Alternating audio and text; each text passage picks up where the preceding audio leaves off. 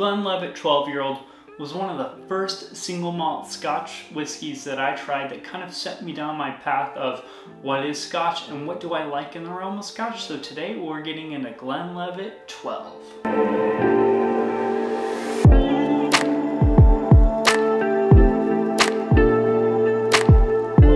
Welcome back to Tipsy Whiskey Shenanigans. I'm Steven and today we do a review of Glenlivet 12 year old double oak. But before we get to that, please do me a favor, like and subscribe if you haven't already. I appreciate you guys for your support.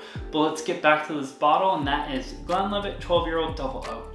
So in the name, obviously it is a 12 year old scotch from Glenlivet. It is a single malt scotch that is 40% ABV it is matured in both American oak and French oak for 12 years and it comes out roughly around $32 which is a really really cheap budgety scotch and it's honestly kind of one of the first few scotches I got that was more than like Johnnie Walker or something like that that kind of set me off down this road of what scotch can be because I'm clearly more of a bourbon drinker but from time to time, I do like my scotches. So we're gonna go ahead and get into this bottle and I'm gonna let you know what I think about it.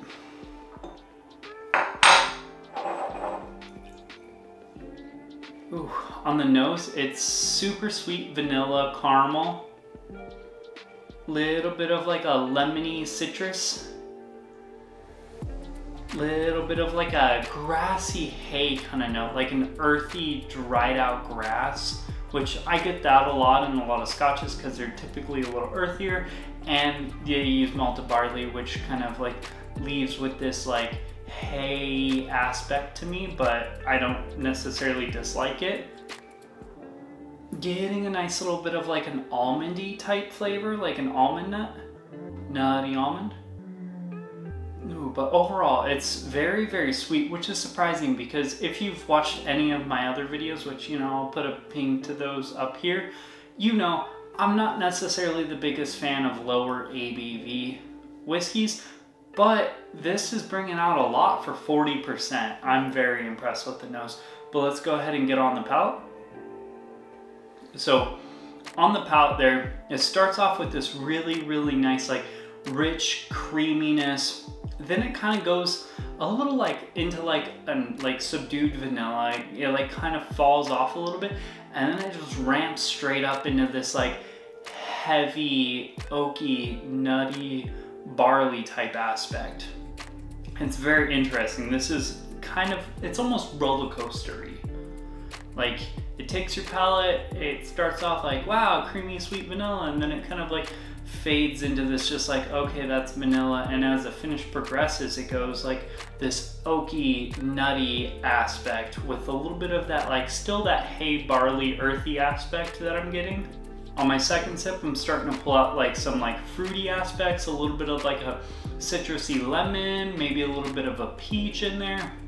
But overall, very, very delightful. And honestly, for 40% finish, pretty good. I'm not complaining. So this is performing significantly better than I anticipated. Honestly, 40%, I wasn't thinking very highly of it, um, just because it's not really a realm I stay in very often.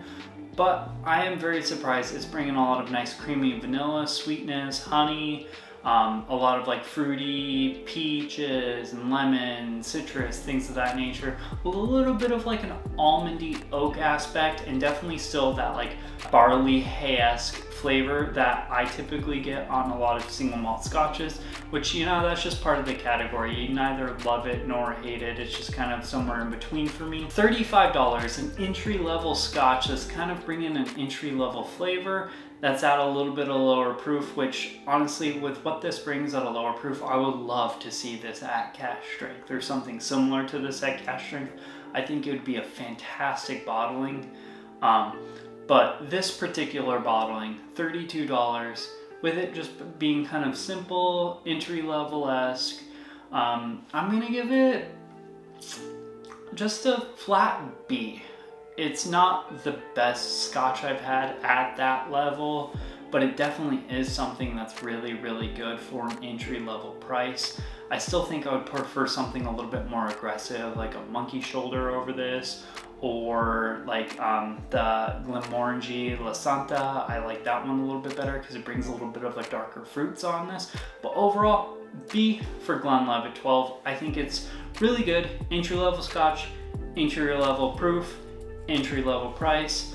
I think overall, honestly, this is probably one of the best scotches for someone who's trying to get into scotch. Tipsy Whiskey Shenanigans as a whole gives Glenlivet 12 year old a B. It's an entry level scotch for an entry level price.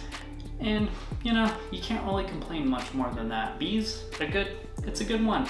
I don't necessarily want to have this on my shelf, nor do I care to have this on the shelf. Like this isn't a keeper, but this is definitely not something I'm disappointed with drinking at all. But that being said, that's a wrap for this video. Please do me a favor, like, comment, subscribe. Let us know what you thought about this video. I know we don't really do a lot of Scotch content because that's not really our realm, nor, you know, am I necessarily the best at grading Scotches because, you know, for me, $32 is more like an Elijah Craig status, which is bourbon. So that's just kind of the realm I live in. But um, also, check out our Instagram and our Facebook as well as our Patreon. We appreciate your guys' support. That's a wrap for it here, though. Cheers, y'all. We'll see you later.